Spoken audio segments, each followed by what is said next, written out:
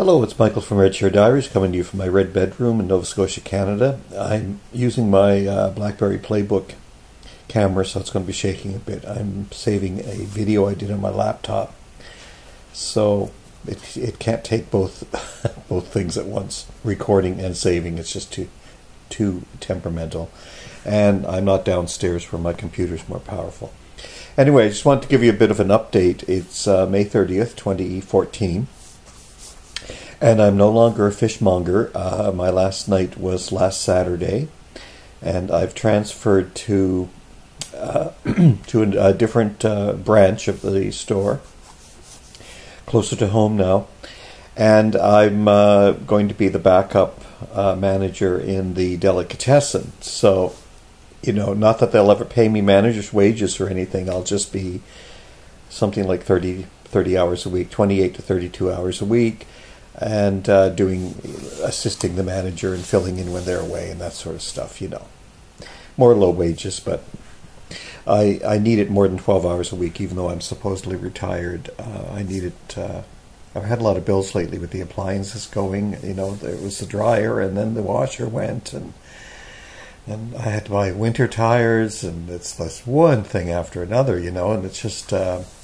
my pension covers my mortgage, but uh, you know I do need the extra money to pay some bills. So I am basically working harder than ever and much more physically demanding than when I was in my fifties. But it's also healthier for me, and uh, I've had very few issues of uh, being really low and depressed ever since I went back to work three years ago. So that's, I guess, a good thing right? Wouldn't you say? Uh, so anyway, I, I, it was really, really nice that uh, they had a little huddle at the seafood department last Saturday. I didn't get a cake and I didn't get a card, but I did get fifty dollars in uh, gift cards to the local liquor store from the store manager. So I thought that was pretty good. I thought that was very nice. Uh, so I'll take that any day. It's only twenty dollars left now of the fifty. Uh, and what else did I want to tell you? Uh, yeah, so anyway, now I'm learning about cheeses. Now uh, I'm not Jesus, cheeses. Learning about uh, the different cuts of, uh, you know, Montreal smoked meat and uh, uh, I can't even remember all the names, the different salamis, and oh my god, it's just overwhelming. You know, the department is very big. It's got a lot of showcases on the floor, and then uh, you know the large window uh, display that you you know the counter display and you've got the hams in it and the the roast beef and the salamis and the pepperonis that you have to slice for people and you know it's a lot of work. And it also does this department also makes sandwich trays so people can order sandwich trays and aren't they a delight to make?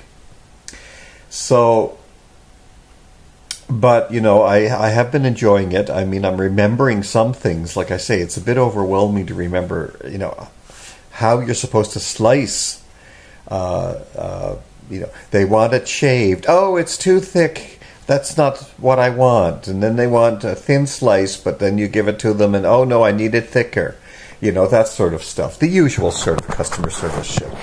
Anyway I've already had lots of compliments, uh, according to the people in the store up at the customer service, about what wonderful, wonderful service I'm giving. Uh, once again, I take the time to actually talk to the people and relate to them as if they are important to to me, and they're certainly important to me as far as a customer in the store. But my contention, it, it, also in seafood and also in bookselling, was uh, more, more with the senior citizens in seafood. Say a lot of I had a lot of older customers. Uh, I, I might be the only friendly face that person sees today during the day. You know, a lot of people live alone. They they don't have a lot of people to to communicate with, and I had customers that would only deal with me because I dealt with them in such a pleasant manner. There was probably customers who wouldn't deal with me, you know, because there's always the flip side. but I'm very sincere about that. I've always been sincere that I want if you if you're pleasant to me, boy, you're not going to find a nicer person to deal with. I'll do whatever I can for you. And if you're an asshole, uh, watch out because uh, I don't take to it very well. You know, I, I I don't mind waiting on people. I'm not a snob about work, but I, I don't like people to dismiss you as not important just because you're waiting on them. You know, that sort of attitude. I, I don't take to it too well. Anyway, we'll see how it works out. So I guess I'm going to work for at least three more years because I think this uh, deli manager wants me to take over when she retires in a year or so. Oh, God. I don't want to be a manager again. It's just too exhausting. So I want to bring you up to date about that. Uh, the the other things um, I want to tell you about is I haven't been on the net as much. I haven't been on YouTube, so I have not done my series about uh, being out of the closet for 40 years. It's 40 years last month. I never got around to it. I never got around to doing any of the interview videos I wanted to do because I've actually been working too much. Uh, those things I have not done. I, uh, I, have not done my queer cinema series. So these are all going to be sporadic activities. I, I, it just can't be helped.